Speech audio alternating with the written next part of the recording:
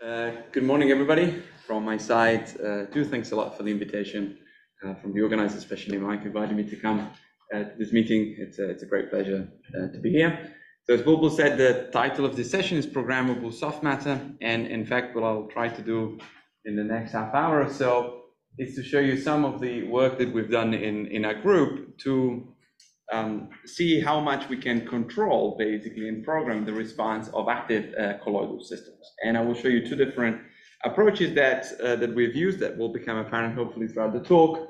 The first one is to program the response and the motility of active particles by using photoresponsive materials. And the second one actually uses uh, thermoresponsive materials to change the shape uh, of active particles and therefore reconfigure their motility in, in a programmable way. Um, to this audience, I don't really need to introduce active matter, but just very briefly, what I would consider in sort of a very simple sort of distilled uh, definition, active matter systems, we consider them to be systems that are able to intake energy that is available, either in, in form of a chemical uh, fuel or in, in, terms of harvesting energy from external fields and transforming or translating this, this uh, uh available energy primarily into directed motion and then into a range of different um, functionalities. And so, of course, if we think about this, the best example of it are living materials. This is a movie that is often showed in, in, liquid, in, in active matter uh, uh, contest. This is a macrophage. It is a cell that is performing a task, which is to eat that little bacteria that is, uh, that is following.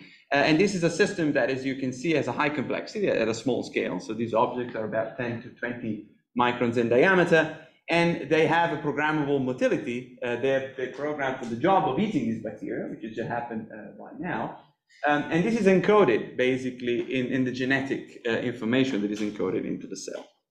And so if we want to try and replicate that at a, at a synthetic level, uh, if we want to have this programmable motility or functionality of these objects, we have to uh, endow basically these objects with, with, these, with these properties and, and, primarily, this boils, boils down to having systems that have some form of a feedback between sensing a certain, a certain stimulus, in this case, is the presence of the bacterium and the chemical traces that are left by it, and then respond and adapt the motility to that in a programmable way. Okay, and that's really at the core of, uh, of this idea.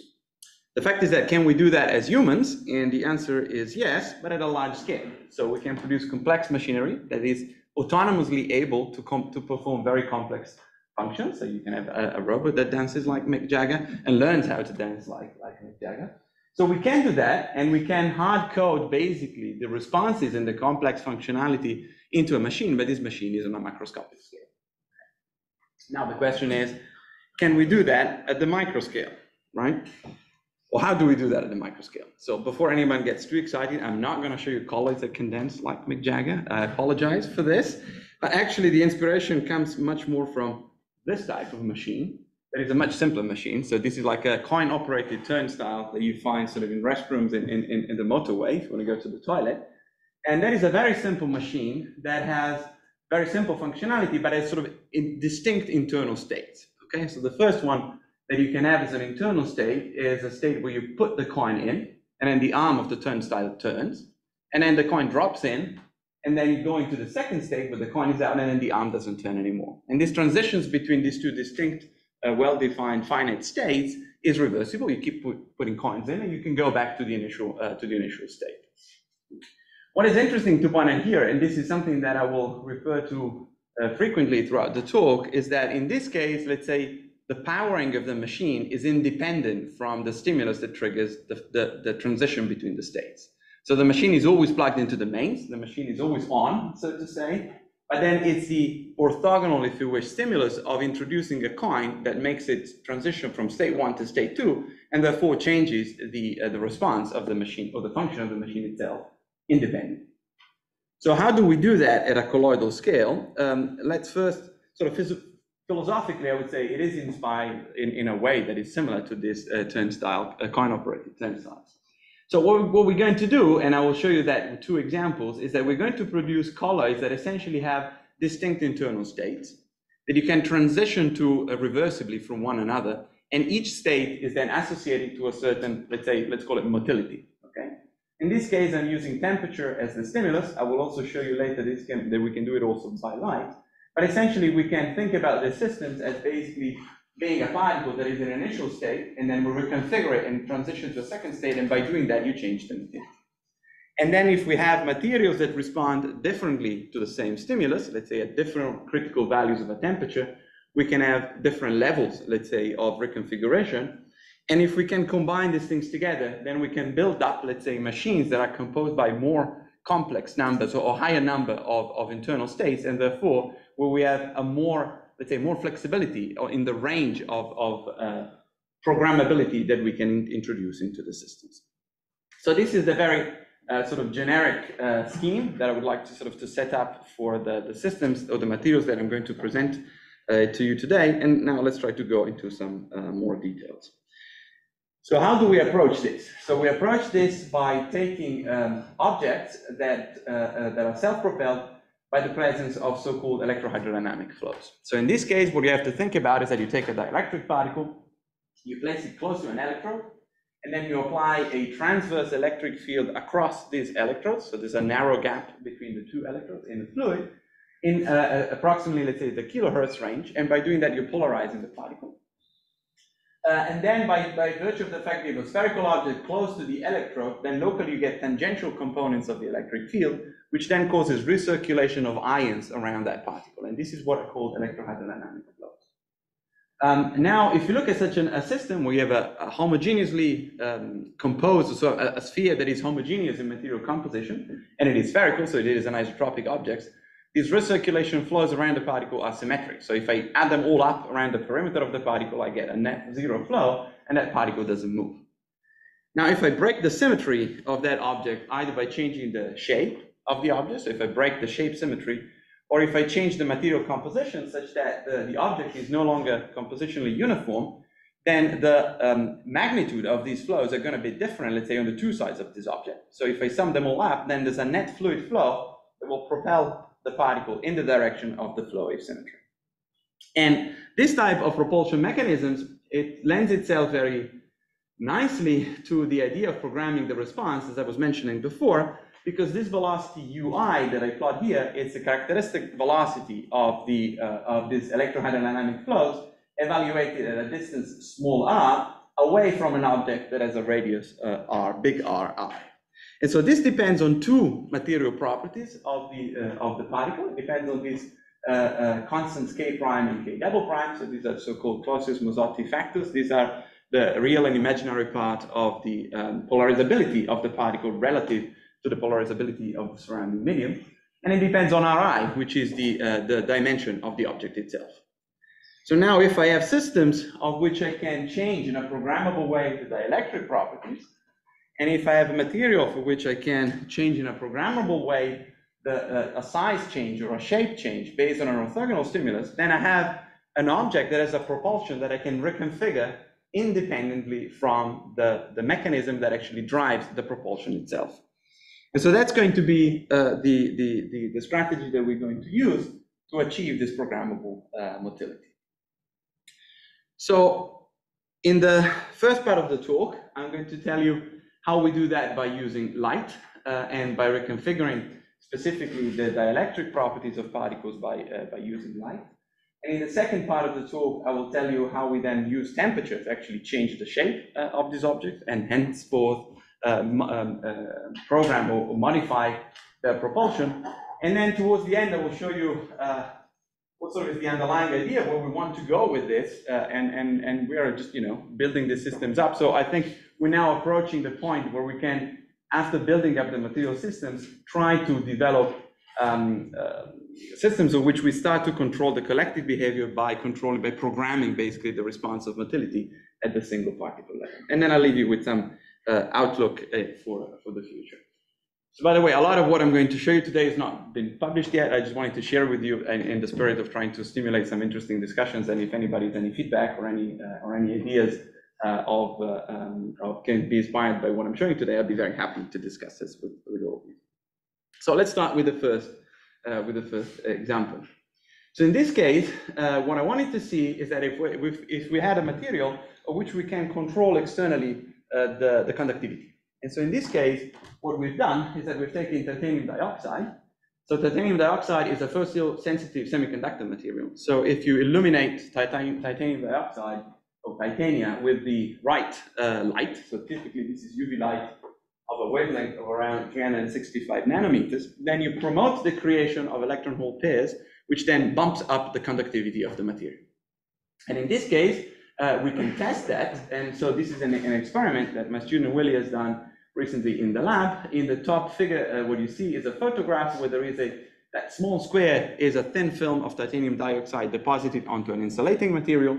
And the two black patches that you see are two gold electrodes that provide an electrical contact. And then we apply a voltage across that, uh, that titanium dioxide film and measure the, the current that goes through, okay? And then we illuminate the, the material with UV light of different intensity, and then we see basically what happens. And what we see here, and this is a material that has a light-dependent conductivity. So the graph, it's a very recent graph, so the units are not uh, perfect yet. Uh, these different numbers that you see with the arrows correspond to the intensity of the UV lamp that we've used. So 1023 is the highest intensity that we have. This is in, in, in bits. Uh, and then you see that as we reduce stepwise the light intensity, the current that goes through also decreases stepwise. And then we go to a minimum of the current that goes through uh, with the highest resistivity, so the lowest conductivity of that film, if we have zero UV light, and then we go back up and then we recover the initial uh, conductivity. So this is now interesting for us because if we produce Janus particles that we only coat half with such titanium hemisphere, then these particles are uh, silica titanium particles, where the silica, the surface of the silica doesn't change its conductivity when we shine the UV light, but the titanium does. And so here we have a system, if we go back to the propulsion mechanism that I was mentioning before, of which we can control the dielectric properties by shining UV light of different intensity. So this light-dependent conductivity is the gateway to sort of the light-dependent propulsion and the pro programmability of the response. So this is an, ex an example of an experiment. And so what you're going to see here, these are such Janus particles that are moving on top of the electrodes, okay? And then as we shine the UV light, then you will see that the propulsion of these particles are that. So these are some of the early experiments, so quite a few of the particles are actually stuck on the substrate. And you see that the particles swim in the characteristic active Brownian motion uh, pattern, and we switch off the UV light, and all of a sudden, the motility of this particle drops. This is different from the case of photocatalytically active titanium particles, or titanium swimmers that people have looked at, because in that case, the UV light is actually the, the, the, means by which the, the propulsion takes place. In, this, in, in these experiments, the electric field is constant. Okay, so we have an electric field of 10 volts at a frequency of 8 kilohertz, and that is fixed. So we are driving the particles always with the same driving force, but we are reconfiguring their uh, properties, their material properties, by shining UV light. And as you can see, this is reversible, and we can do that over uh, multiple cycles. So just to look into a, li a, little bit more detail. So then here, if we look at the motility of the particle, in this case, is a mean square displacement. As a function of time, we can either fix the voltage uh, uh, and change, excuse me, we can fix the UV illumination and change the voltage, and then the velocity scales with that, or we can keep the voltage that drives the particle fixed and then change the intensity of the UV light that we are shining onto the system. And again, we have a scaling of the velocity. So essentially, we have then really established that we have a controllable sort of light dependent uh, propulsion for these systems, um, which allows us really to, to program essentially how we want the, the, the velocity, the motility of the particles to change in response to an external stimulus. Now, what makes these things interesting is that using light as a vehicle to control the propulsion of the particle is very convenient. Because what we can do very easily these days is to use the machinery that is inside such a beamer, and this is called a DMD or a digital micromirror device, which is a, a, device where you take a designed illumination pattern, you feed it through the beamer, and this is the picture that you see on the screen, and then there are mirrors inside the, the, the, this device which basically project the illumination pattern, the image that you feed to the projector onto the sample. So you see here, this is a resulting illumination pattern where, for instance, we say we illuminate with UV only the left side of the screen, and then we do not illuminate with UV the right side of the, um, uh, of the field of view, and then resultingly, these particles will be exposed to the UV light, but the other ones won't. And so if we do something like that, the experiments look like this. You now do not see the, um, uh, the, the light pattern because we have a filter in front of the camera that blocks the UV, but the particle starts to move. That particle on the right is very close to the edge of the illumination boundary. And if it's on the right side of that, then it goes slowly. You can already see that the particles on the left side are actually moving faster. And as the particle will now very soon cross the illumination boundary, then all of a sudden transition to the second state and then starts speeding up. Um, so this again, this is where we are with this at, at, the moment, and then we can look at we can look at we can start excuse me looking at sort of what happens to large collections of particles. And so again, here we have a, system where we have this illumination landscape, we have a field of view. It's let's say uh, black on the left and, and white on the right, and then after 150 seconds we swap. Okay, and you can really see that we can toggle basically the motility of the particles as a function of position in our sample by toggling the illumination. And we can go from a high velocity state to a low velocity state by changing the level of illumination. So essentially with this system, and this is where we are now, and I'm very excited to see what's coming next, we have now a system of which we have spatial and temporal control of the propulsion by, uh, by light fields, uh, which then allows us to, uh, to tune uh, what's going on um, at the level of the single particle. Okay, so with that, I want to move on to the second uh, system that, that we have elaborated. And in this case, as I said, we are uh, exploiting, as I'll show you in a minute, the fact that we can reconfigure the shape of the objects by changing temperature. So before doing that, I just want to tell you how we make those particles. So we need to be able to incorporate, let's say, um, uh, thermoresponsive or, or reconfigurable elements, let's say, inside our uh, active colloidal particles but we also, if we want to program really the way in which they move, we also want to be able to precisely decide where these responsive elements of these reconfigurable elements are within the particle. And to do that, we use a technique that we've been using for a while in my lab. is a, a particle assembly technique that we call SCAPA, uh, which stands for Sequential Capillary uh, Assisted Particle Assembly. And it is basically a glorified version of the coffee ring effect. So what we have is that we take an evaporating droplet of a particle suspension, but instead of just letting it dry on your table and give that ring-like shape uh, stain at the end, we have a, a, concentration and accumulation of particles at the moving at the, at the meniscus of a moving droplet. And then we drag that droplet over a substrate that has cavities in it that we call traps or, or wells. What happens in that case is that once the particle falls into the trap and the meniscus of the droplets move over, then there's a capillary force that pushes the particle inside the trap. Okay? And the movie that you see here sort of white stage that is barely visible on the beamer is this dense uh, uh, accumulation zone of particles close to the meniscus. And then the meniscus moves over the templates, it unzips, and as it unzips, it deposits a single particle in each of the cavities that you see on the substrate. Here there's a little bit of a, a zoomed in movie, um, and where you can see the process taking place. But you will also notice that in this case, the size of the cavity, the size of the trap is larger than the size of the particle. So there is some empty space that we can leave behind. There's many details there, but without going into the details, if we tune the parameters of the deposition properly, we can control how many particles we put inside each trap. And in this case, we put, in, we put particles in one by one, which then allows us to come in with a second deposition, hence the name sequential, and kind of fill in the backspace with the second particle. Now, in this case, you do not see the second particle type because the second particle is a microgel, which basically shrinks after the water evaporates. So you don't see much of it, but you will see it uh, in the coming movies. So by using this technique, we can compose together colloids of hard and soft particles in a well-defined uh, in a well-defined way. And by controlling the geometry of the traps, by controlling how many particles we put in, and where we put them, we can basically produce a library of sort of multi-material colloids that in this case comprise some rigid uh, polystyrene spheres and microgels that we can attach in a desired symmetry. And we can also use microgels that are made out of different materials so we can combine different microgels. We can produce, let's say, trimers in this case with two different types of microgels connected onto a polystyrene uh, particle with a well-defined and this is sort of is the key of what we use for these shape reconfigurable colloids that uh, in terms of propulsion that I'm going to show you in a minute. So just a little bit more detail of what is the material. The material here is polyniper. So this is a well-known uh, thermoresponsive polymer. It's a polymer that undergoes a swelling, deswelling transition at a, at a very well-defined temperature of around 32 degrees in, in water.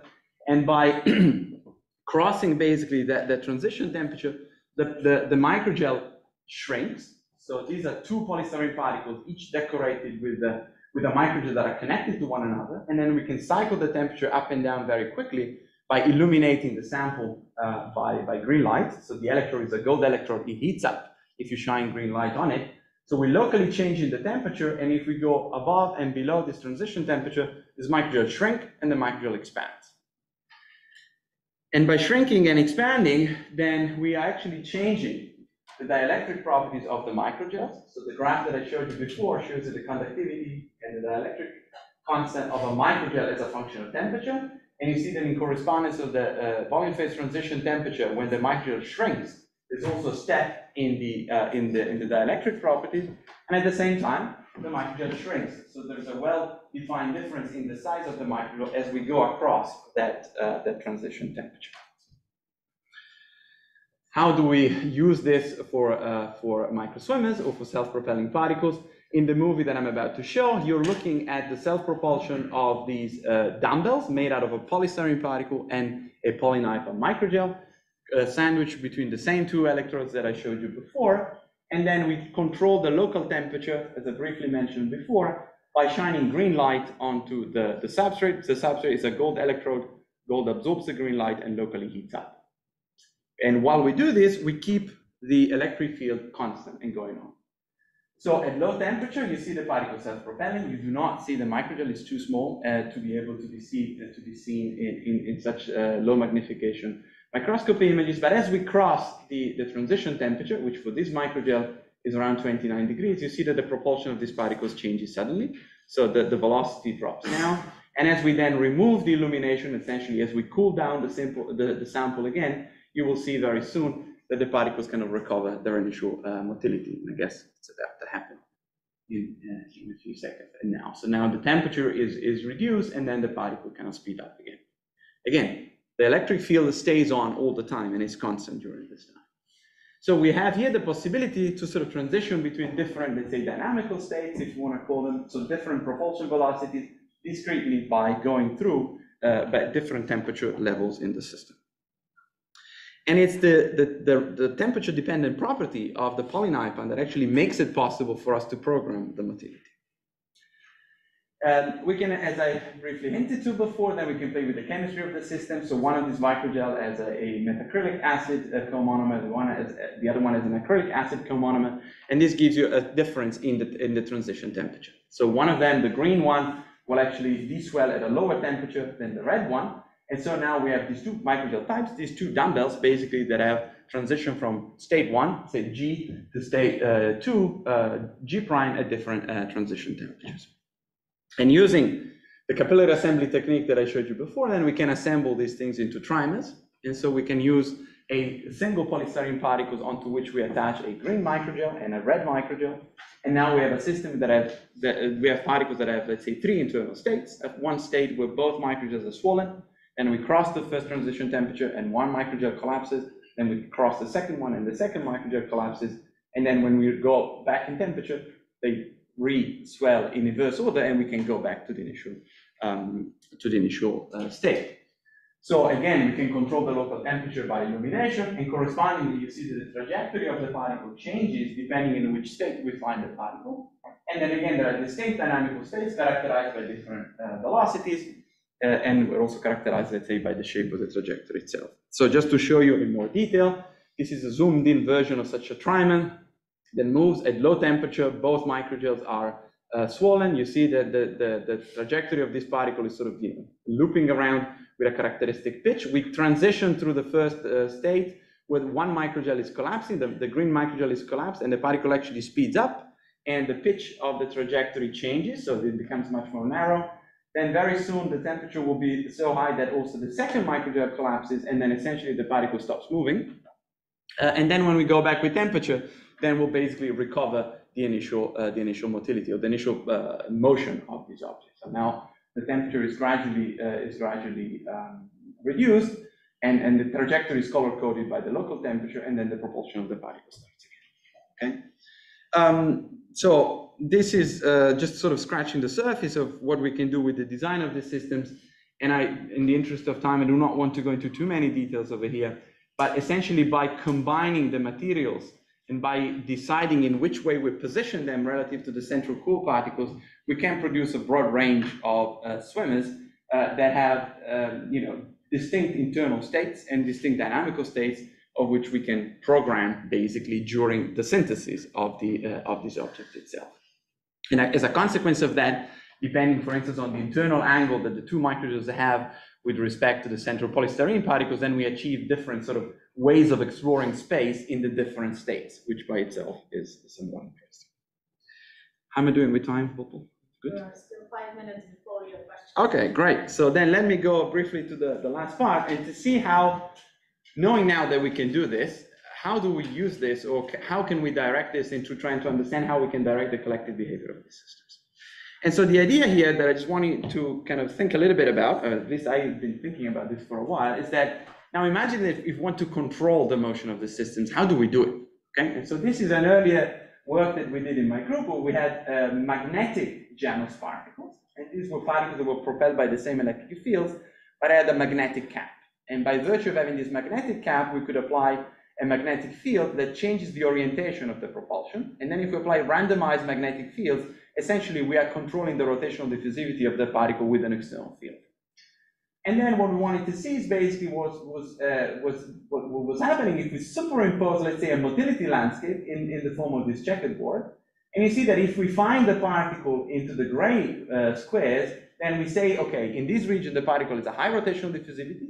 And then as it goes into the white squares, then we say, okay, in this region, the particle is a low rotational diffusivity, okay? And we could do the same thing with the propulsion velocity. But the core of this, of how we control that, is that we need to tell, let's say, the machinery that controls this particle, where is the particle, and what should the local velocity or the local rotational diffusivity be based on the particle position. And so this really becomes a control problem. problem and the idea is that now we want to know basically where is the particle position at time t.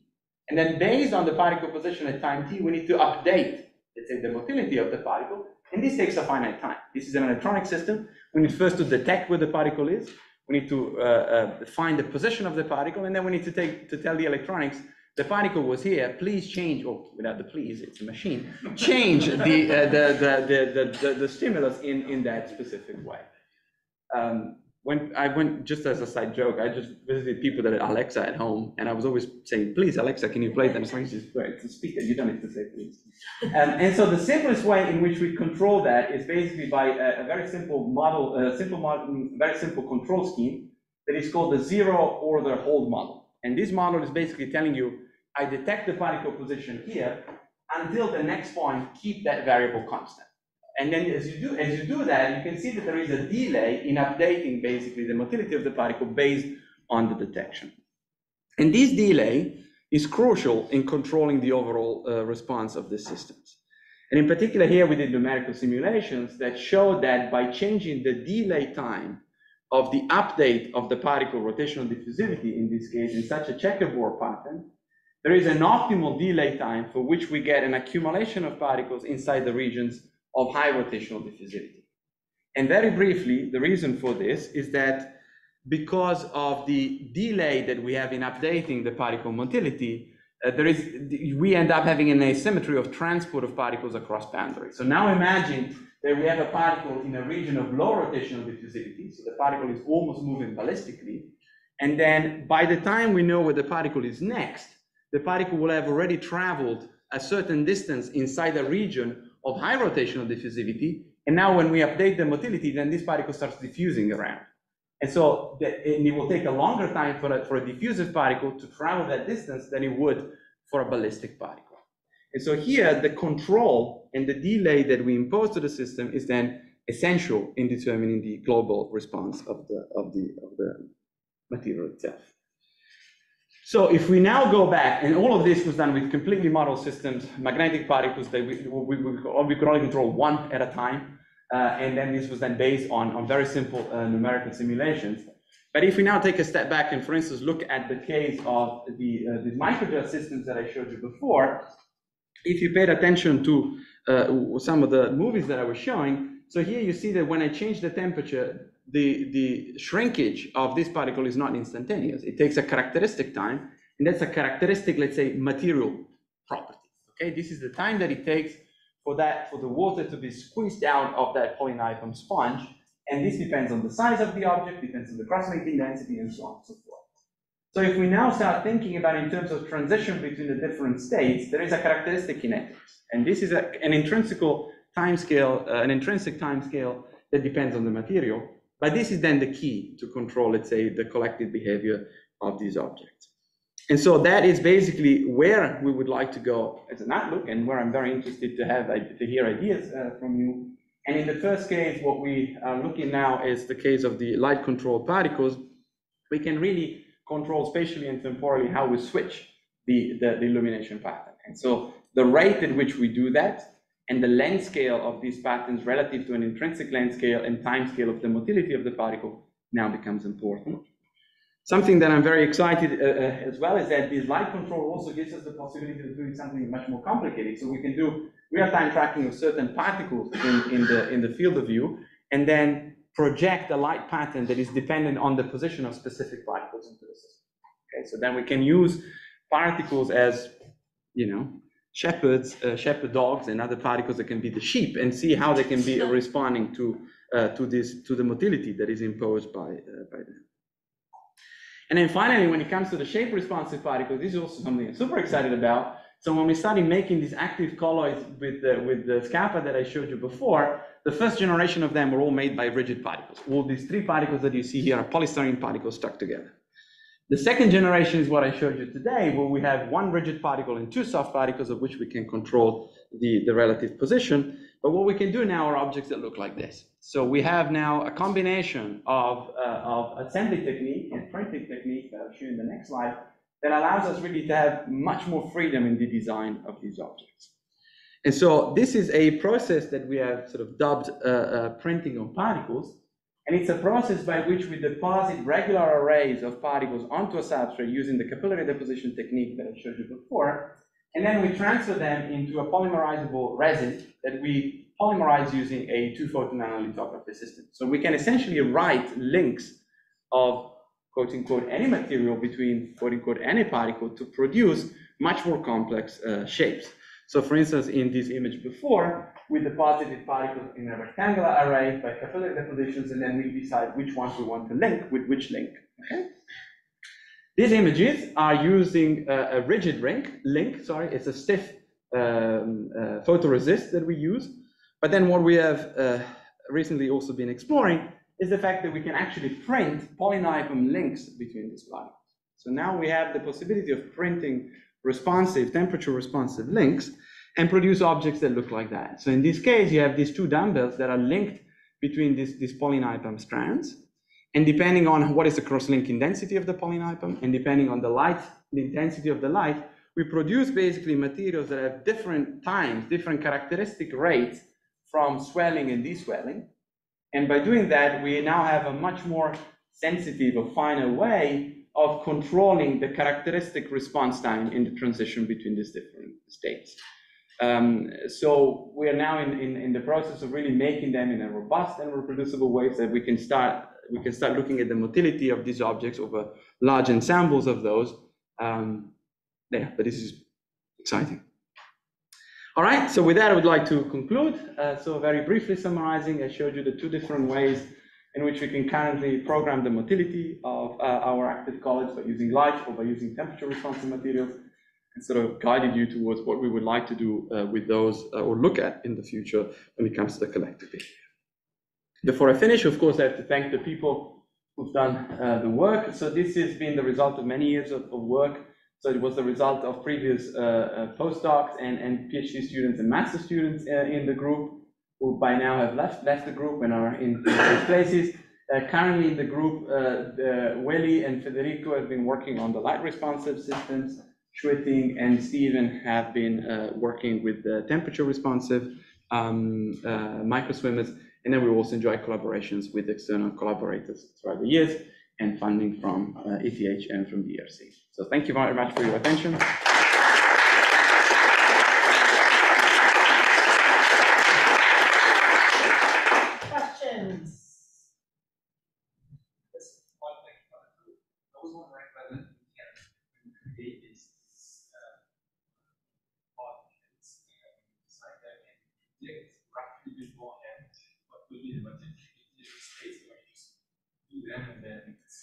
Yes, So in principle, we can, in the sense that. the question first. Oh, sorry. So the question was whether we can a priori predict what the motility is going to be uh, by adding particles of known properties rather than just doing it and checking afterwards.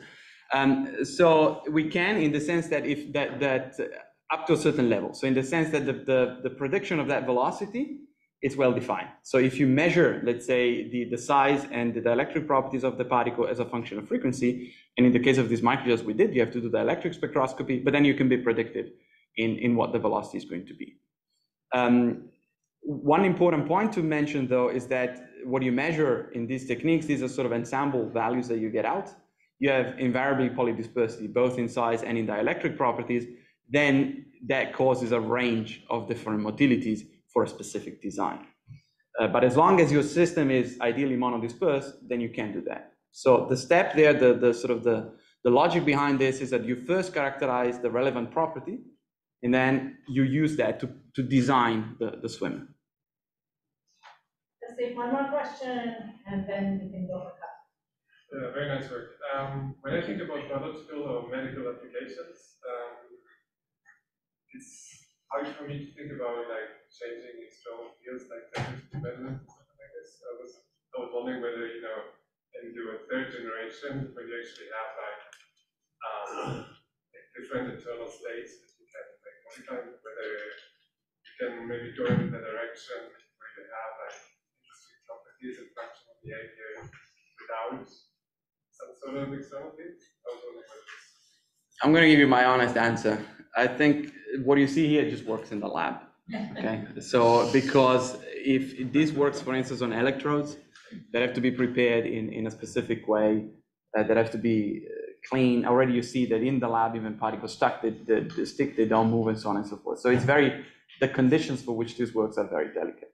Uh, so I, even though I love the field, I mean, I think that to translate this type of simple swimmers into biomedical applications, for me, it's something that is extremely far in the future, if at all possible. But one can think about the strategies that you can design these swimmers with to go in that direction. Okay, and so one can think um, about, for instance, um, and this is what we're trying to do at the moment as well, combining biological objects which have somewhat inbuilt robustness to be able to swim under certain conditions with functional particles that then can carry, let's say, the biomedical function with them.